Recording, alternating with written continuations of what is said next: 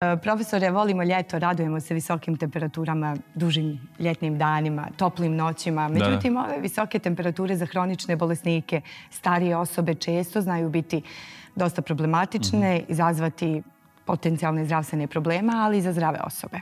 Tako je.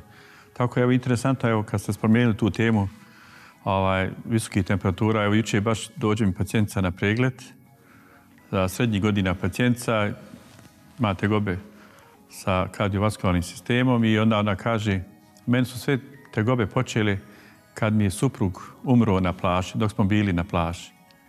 Znate, tako da, kaže, nisu znali uzrok, on je samo prestao disati, to je za mene trauma ogromna. Hipertermija, pregrijavanje, znate, jedna, jedan je ovaj, ozbiljan, ovaj, ozbiljno stanje koje ima velike reperkusije na naš organizam ona je čak opasnija od hipotermije. Znači, bolje je biti na hladnoći nego na velikoj vrućini. Imate jedan od parametara, na primjer, ja sam to uvijek volim da kažem za naše gledalce, gledajte temperaturu. Ako je vanjska temperatura 32 stepena, ne izlazite vani. Maksimalno 33, još 1, 32, 33 stepena, znači morate da budete u prostorijama gdje su normalne temperature. Izlaganje temperaturi preko 32 stepena ili 33 dovodi do povećanje hipertermije, a hipertermija je preduslov za toplotni udar. A toplotni udar, 5% pacijenata umiru od toplotnog udara. Tako da hipertermija, šta se dešava za vrijeme pregrijavanja? Hipertermija, da kažemo jel, običnim jeskom, znači pregrijavanje.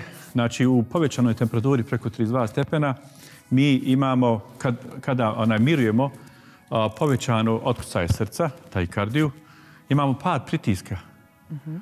Imamo povećano znojenje, jer organizam se brani time što bi tu temperaturu hoće da izbaci kroz jel, ovaj, tijelo sa preznojavanjem, onda to ne uspjeva, javljaju se glavo, glavobolje, javlja se muka na povraćanje i gubitak svijesti. Toplotni udar i u ti može da dođe do letalnog isuda. Šta se zapravo tada dešava se u našem organizmu? Pa dođe, pacijent pada, izgubi svijest, dođe do kome, dođe do, kom, do kompletnog suženja krvnih sudova, dođe do srčanog zastoja i pacijenti može zbog jednih par izlaganja visokoj temperaturi, svakako pacijenti koji imaju kardiovaskularni riskofaktore, a jedan od uzroka je zato što u povećanoj temperaturi dolazi do povećanog zgrušavanja krvi. Da, znači, da. U, tome, u, tome, u tome je jako je važno neizlaganju ovaj, povećanoj temperaturi. Ukoliko znamo svoju dijagnozu i znamo da...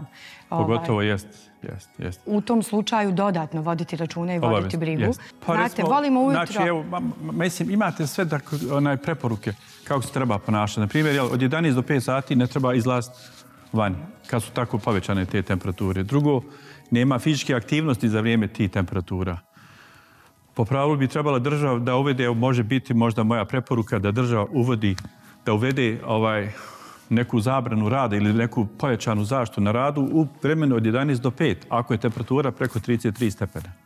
Da, zaista znači, imamo zakonom da se to uspostavi, da ne rade ljudi na građevinama 4 stepeni i normalno povećana tjelesna temperatura. Djeca da se ne igraju sa tim, jer djeca su čak izloženija pregrijavanju od odraslih ljudi. I vi se, ako se sjećate, kad dijete ovako trči, pa vam i dotrči ono svo crveno, svo upaljeno, to je već znak pregrijavanja.